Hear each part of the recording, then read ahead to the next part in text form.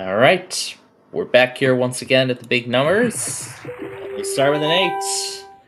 And there is our insurance marker.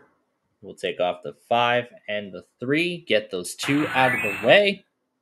Next roll is an eight again, and another insurance marker. Okay, next roll is an 11.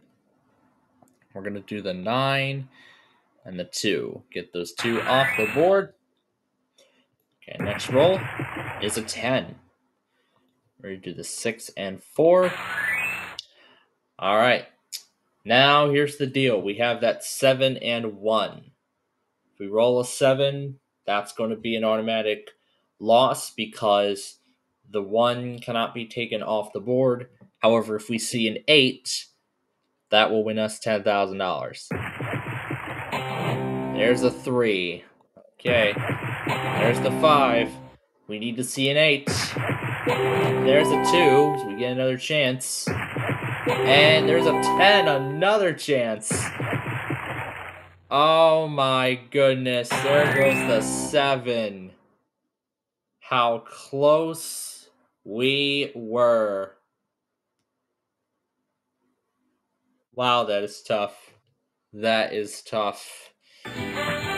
Well, let's try round two and hope for the best. Oh, look at that. There's the pesky seven that left that one. This time, let's get that one off the board. Next is a 10.